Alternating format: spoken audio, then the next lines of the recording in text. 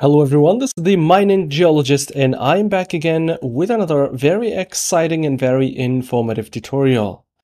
So if you're new to this channel, I share videos about geology, mining engineering, GIS, and geoscience in general. If this is your first time on the channel and this is something that you've been looking for, make sure to hit that subscribe button.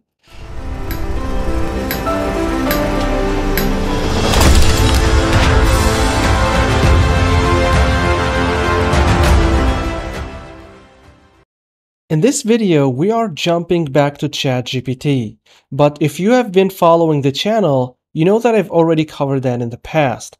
But I promise you guys that this is not going to be the same thing. We're going to see something totally different, and I promise you it is something very useful. And if you stick to the end of the video, I'm going to show you how you can scale what I'm about to show you today to another level. So last week, OpenAI supercharged ChatGPT with some amazing features, and it might be nearly impossible for me to cover all of these in just one video. So here's what I will do. So I'm going to cover each one of these features in a separate video and I'm going to show you how you can use that as a geoscientist because basically you can go to OpenAI's website and check these features yourself but applying them to a geoscience that's totally different and that's why I'm here. So the first feature that we're going to see today is basic, basically the vision feature or what they call the vision capability of ChatGPT. So as the name suggests, ChatGPT is now able to see images the way we see them. So basically, if you send a picture of a dog to ChatGPT and ask it what's in the picture, it's going to tell you that there's a dog and might give you some descriptions about the images about the image, like a detailed description like the dog is red or whatever. Now, some of you might be asking now, how can sending a dog's image to ChatGPT is going to help me as a geoscientist? Well, if you think out of the box, there's plenty of ways that you can use this feature to your benefit. So I'm going to show you a really cool example and a simple one that you can uh, use this feature. So I'm going to jump to this folder and I have a silly picture of a log that I've done really quickly just for the sake of this tutorial. And you can see that I call that, even though it is a log, but let's say that this is maybe uh, like for a drill hole and it's called DH1 and you can see that we have like the different intervals like from 0 to 10 we have marl from 10 to 25 we have clay from 25 to 36 we have dolomite and so on even though that this is not something that I've used the computer, like you can see that this is basically my bad hand uh, writings. So let's see if ChatGPT is going to be able to recognize that and helping us creating a table automatically. So let's go and test that out. So I'm going to drag and drop this one inside the chat, and I'm going to ask ChatGPT, can you give me the uh, different lithologies in the uh, log and their from and to depths in a table. Let's see if ChatGPT is going to be able to pick that out for me. So let's hit enter and wait for ChatGPT to do that.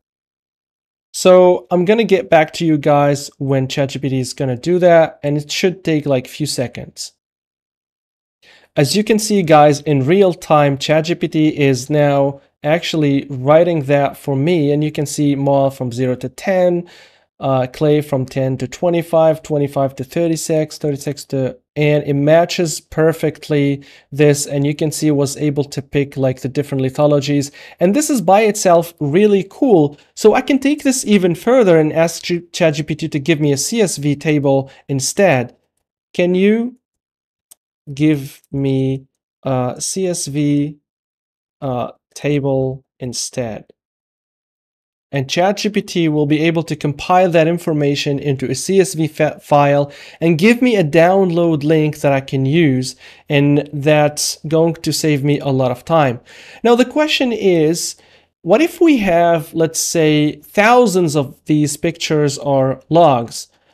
Do we need to like copy and paste like each one of the each one of these images to ChatGPT in the chat here, and then wait for the different tables and then go and combine all of these table in just one table. That's no, that's not what you will need to do because one of the features that they've added to ChatGPT in the past week is like making uh, or adding the ability to use all of these features and uh, capabilities from their API. So you will be able, if you know a bit of coding, like Python, for example, you will be able to do what we've just done in the chat here, but through your Python code.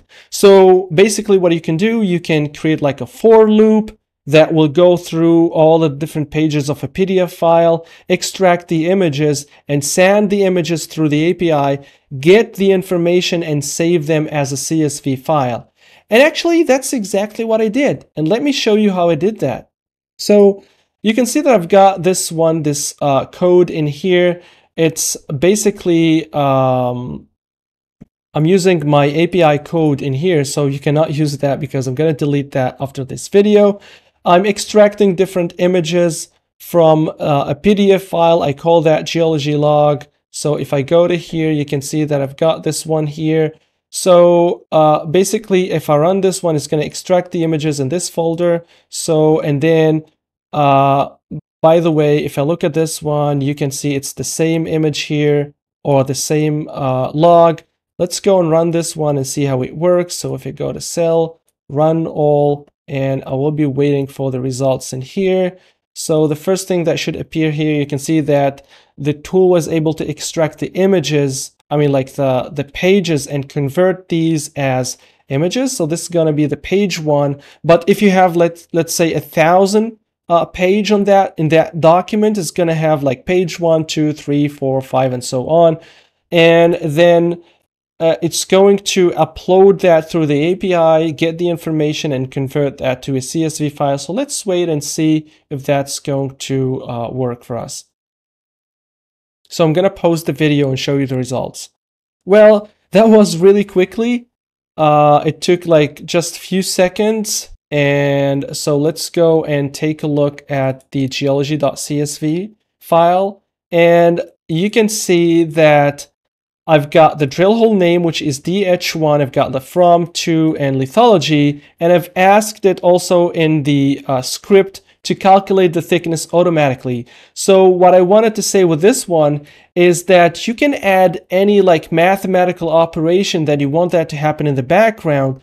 Like, I don't know, like maybe you want to highlight some grades or you want to convert like the uh, low detection limits to like half of the detection limit in like uh, assay tables or stuff like that, you can actually ask ChatGPT to do that on the fly and you will have a ready file, ready to use CSV file or whatever file that you are dealing with. So this was the first feature. There will be other features that we'll be covering and I'm going to show you how you can scale these to another level. And with that being said, I hope this tutorial was very informative for you guys. And for people who stuck to the end of the video, I'm going to be leaving the code in the Patreon page. So if you're a Patreon, you'll have access to the code that I've just showed you. And so see you in the next video.